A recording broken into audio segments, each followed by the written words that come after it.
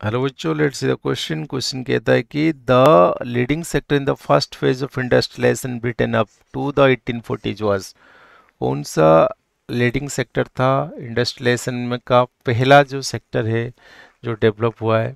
आप जानते हैं इंडस्ट्रियलाइजेशन स्टार्ट हुआ, शुरुआत हुआ जो फ़र्स्ट फ़ेज़ में the cotton cotton what was the symbol of new era आप जानते हैं। Symbol of new era, modern era का कॉटन जो इंडस्ट्रियलाइजेशन एरा का पहला सिंबल है तो कॉटन होगा डायरेक्ट आंसर इसमें कोई डाउट ही नहीं। तो ये आंसर सही ओके